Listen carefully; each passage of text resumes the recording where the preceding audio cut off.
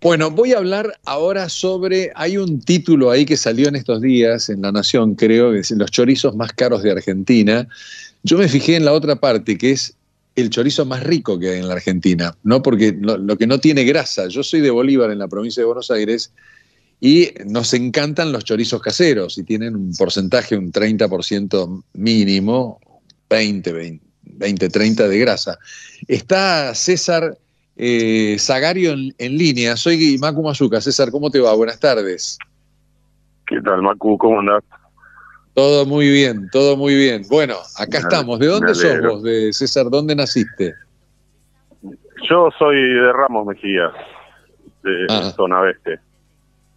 Muy bien, muy bien. No, bueno, he ido mucho a Ramos Mejía. Es más, mi carrera la empecé ahí en un bar de Ramos Mejía, pero a presentando, en dos bares, presentando ahí shows. Pero te quiero, te quiero preguntar, ahora después me contarás sobre estos chorizos, pero un poco el chorizo típico bonaerense, yo soy de Bolívar en la provincia de Buenos Aires, tiene más o menos ese componente, ¿no? Cerdo, carne y, y grasa sí, 30%. ¿no? sí, se usa entre un 20 y un 30% de grasa de cerdo siempre. Se usa algo de magro vacuno en Argentina y algo de magro de cerdo también. Claro, claro. Vos sabés que toda mi, infancia y mi adolescencia eh, se dio yendo a campos, de, a, chacras, a lugares donde facturaban con mis padres. Y era una fiesta, porque era como que, viste, era, salían cosas riquísimas de ahí. Sí, sí, se hacen también carneadas y se hace mucha factura casera. Exacto. Entre ellos chorizos, morcillas, quesos de cerdo, longanizas, de todo. Y bueno, y después chorizo seco. El chorizo seco, claro. Yo me refería básicamente al chorizo seco. Pero bueno, vamos a la historia de ustedes. Contame un poquitito, si yo te tuviera que preguntar, sobre ese título que les puso la Nación como los chorizos más caros de la Argentina. ¿Me contás un poco la historia de estos chorizos? sí, mira, en realidad yo soy tecnólogo en alimentos, laburo en la industria de la carne hace más de 25 años, soy tercera generación de una de las familias que maneja un frigorífico, una fábrica de chacinado especializada en salame, que está por cumplir casi 100 años. Y hace. ¿Cuál es? ¿Cuál es? ¿Qué marca es? Sello de oro, 45, son los salamines con etiqueta amarilla. ¿Y en qué lugar, en qué lugar este, están de Argentina? ¿En qué lugar de la provincia? Sí, en Matadero el 80% de las fábricas de chacinado están nucleadas ahí en, en Matadero. Y hace seis años, con dos hermanos y, y otro amigo más, entre cuatro, pusimos corte carnicería y corte charcutería y, y bueno, y empezamos a hacer por ahí embutidos y chacinados de, de digamos, como tratando de recuperar recetas y técnicas este, originales, tratando de poner mucha énfasis en las materias primas que usamos y empezamos a hacer un montón de, embutidos así especiales. Corte, uno de ellos queda acá en Villa Crespo, ¿no? En Capital, ¿no? Estamos en Núñez, en Núñez, ah, en Bajo del Grano. Este, ah. Y bueno, también hace un tiempo le hago los desarrollos de muchos salazones de, digamos, a la gente de Barcos Sans, que son los que son los que trajeron el Guayú a Argentina hace más de 20 años, creo. Explícanos qué es el este, Guayú, explícale a la gente qué es el Guayú.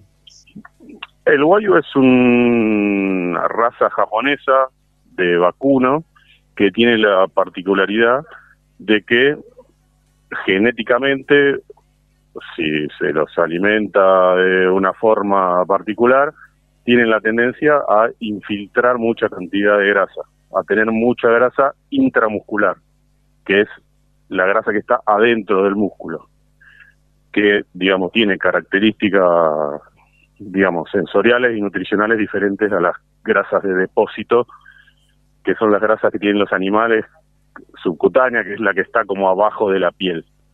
Claro. ¿Sí? ¿Se entiende? no sé si me pongo muy técnico. Sí, sí, sí, sí, sí, entendí, entendí. O sea, ¿eso qué hace? ¿Que sea más rica la, la carne? Sí, sí, porque son grasas que tienen un perfil lipídico diferente, o sea que tienen grasas de punto de fusión diferente y hace que a temperaturas más bajas esas grasas sean estén en estado líquido, digamos. Son más insaturadas, son más saludables. Y bueno, bueno, básicamente lo que importa siempre, ahora justo termino de hablar con alguien de, de, alimentación sana, es que sea sana la alimentación o más sana, ¿no? Sí, además son animales que están criados eh, de forma natural en pastizales de, de Entre Ríos, creo que están hechos, este y, y bueno, y después son suplementados con, con un poco de grano para hacer esa terminación particular que hacen estos animales. Que es riquísimo eso. Yo, yo lo he comido en la Cabrera, creo, en, en Don Julio, en algún lugar he comido unos bifes riquísimos de, ese tipo de, de carne. De guay. Sí, sí. Sí, se hacen muchas cosas y son increíbles las, las salazones. Nosotros hacemos bresaolas y, y una salazón que se llama asesina, que una es italiana y otra es española, que es como si hicieses un jamón crudo eh, o una bondiola cruda, este, pero hecha con carne vacuna. Y al ser, ah, digamos, grasa que tienen, son cortes que tienen mucha infiltración, tienen un gusto increíble, una sedosidad increíble. ¿Estás diciendo que, estás diciendo que hacen jamón con carne vacuna? Claro, digamos, te refiero porque la gente entiende lo que es un jamón crudo, es el mismo proceso, pero que se hace con, con músculos grandes o paquetes musculares grandes del cuarto trasero del animal. Mira vos. Y eso se, se sala, se macera y se madura un año, un año y medio y, y se logran productos increíbles. ¿Se vende en Argentina o básicamente se lo hace para exportar? Sí, sí.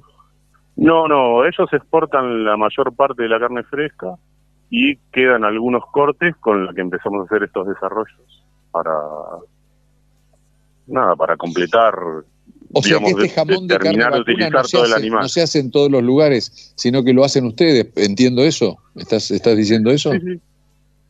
Sí, sí. Qué bueno. Eso sí.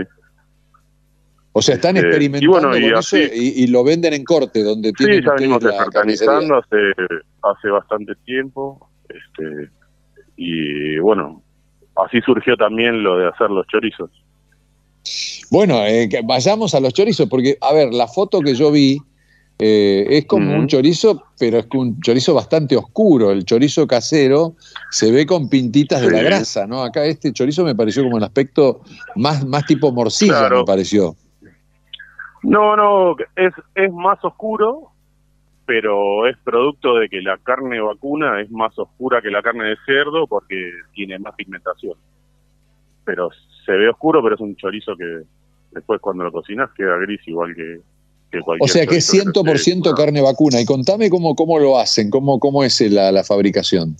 No, y se, se seleccionan cortes que, que, que nos mandan, que tienen un grado de infiltración importante, este, y después se le saca todo el tejido conectivo, que son los nervios, que en el caso de los, de los embutidos frescos no, no es agradable comerlo, este, y después eso se, se pica y se amasa, y se hace una formulación bien cuidada, bien suave, y después se cocina y se hace como cualquier otro chorizo. ¿Y por qué, por qué el título ese tan estridente de los más caros? ¿Por qué es cinco veces más caro que, no, eso es lo que los periodistas. No sé si están así. Eh, venden con los clics ellos, con los títulos, pero no sé si es caro. bueno, bueno, me imagino que igual de todas formas. Pero bueno, es una carne muy exclusiva, son cortes muy cuidados, puede ser que sea un poco más costoso que, que un chorizo normal, que por ahí se hace con bueno, pará, y de hecho es más sano, porque si tiene menos grasa es más sano. Sí, tiene un poquito menos de grasa que, el otro, pero no, igual es, muy agradable cuando uno lo come y muy sabroso. La grasa es, la grasa es, muy rica porque se, se disuelve casi con la temperatura con la temperatura de la boca. Ah, Ok, ok. ¿Y eso qué recomendás? ¿Cómo se hace? ¿Cómo se cocina?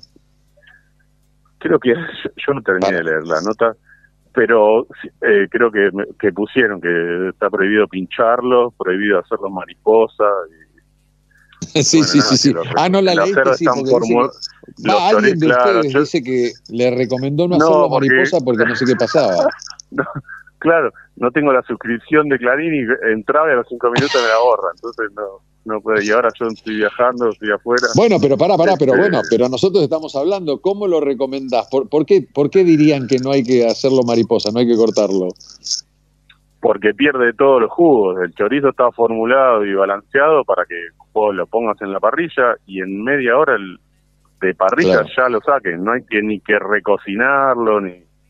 Claro, claro. Moverlo un poquitito. Menos cortarlo mariposa o pincharlo, claro. Sí, sí, sí. De hecho, creo que es un error bastante habitual. Si uno compra y come chorizo de buena calidad, los chorizos no hay que abrirlos, no hay que pincharlos, no necesitarían, eh, digamos, que, pierdan los jugos o, la grasa, si está elaborado con buena materia prima. Entonces, por ahí ya con, con, que, con 20, 25 minutos de parrilla el chorizo está perfecto. Y vos lo comés, claro. jugoso, rico. Escúchame, eh, César, ¿y todos, eh, todos esos chorizos están hechos con esa carne especial japonesa que está ahora, que se, que se produce acá en la Argentina? Sí, hacemos tandas para, digamos, la gente de barcos tiene también una parrilla que se llama Madre Rojas, que es una parrilla muy buena, que está también en Buenos Aires, ¿En qué lugar? ¿En qué lugar me interesa la dirección? ¿La, la conoces? Ah, sé que es la sé que es la calle Rojas y está Juan B. Juan B. Justo pasando Warner yendo para la derecha. Qué bueno, qué bueno. No, porque eh, el propio señor, creo que es el veterinario, es el que trajo un poco y estudió este tipo de animales, ¿no? Sí, ellos, trajeron la genética. Primero trajeron embriones y los implantaron en, en vientres de, animales de acá y después cada tanto van trayendo embriones y van purificando la, la raza. Y de hecho es un trabajo que, que lleva un montón de tiempo armar el plantel de animales que tienen. Me imagino, me imagino. César, lo último que te quiero preguntar es sobre corte. ¿Qué es eso? Contame un poquito, vendeme un poquito tu, tu carnicería, la carnicería de ustedes. ¿Cuántas tienen más de una y, dónde, y dónde están ubicadas? nosotros tenemos tenemos en Olazábal y Migueletes una carnicería y un comedor o una parrilla que está todo dentro de un mismo local. Y nosotros también producimos y maduramos nuestros animales, trabajamos todo con animales de pastura, los maduramos por 15 días las medias reses, y hacemos todo un montón de trabajo, venimos haciendo hace seis años este, nos elaboramos todos nuestros embutidos eh, para la parrilla. Este, y bueno, y hace poquito abrimos una charcutería que sería como la misma línea, solo que es una fiambrería y la línea conductora del restaurante, que queda ahí tres cuadras también del otro, es, son los fiambres y la charcutería. Claro. O sea que se llama corte la carnicería, pero también es una parrilla y también es una charcutería. corte charcutería Claro, está corte charcutería, corte comedor y corte charcutería. Perfecto, pero están, están apuntando a todo. Interesante. El otro día fui a comer cerca a una, me llevó una amiga, una compañera, eh, una, sí. una amiga. Ahí comí una muy rica entraña, pero también en el barrio, pero no, no era tu lugar, o sea, caí de casualidad. Pero mm. bueno, ya, ya, ya iremos a, a comer y ya te avisaremos. Dale, te esperamos será un placer, será un placer. ¿Ustedes están ahí o, o, no? ¿Están atendiendo ustedes? particularmente no, justo estoy de viaje, pero, pero sí, estamos. Voy, voy a, vamos a caer, vamos a caer ahí con mi productora a comer, por lo menos a, sacar el gusto de, comer un, este chorizo, ¿no? Que me quedé con la intriga una vez que, que leí. Dale, ese y hay muchas otras cosas que tienen la, digamos, nosotros estamos muy enfocados en la calidad de, los productos que trabajamos. Se nota, así que bueno, ya te llamaremos. César, te mando un abrazo fuerte. Otro. Gracias, adiós. Un abrazo, César, chao, chao. César Zagario, tiene ahí corte. Bueno, yo siempre prometo que voy, después no voy, pero voy a tratar de ir, porque justo el otro día fuimos a comer a, a una, a justo una esquina, una parricita que ya me habían hablado hace muchísimo tiempo y comí una, compartimos un, un pedazo de carne que fue riquísimo y muy abundante y, muy buenos precios. Así que bueno, si me llegara a acordarte, les voy a comentar que, cómo se llama. Bueno, ahí está, corte, si quieren ir, es en Olazábal y Migueletes, y está corte eh, comedor y corte charcutería.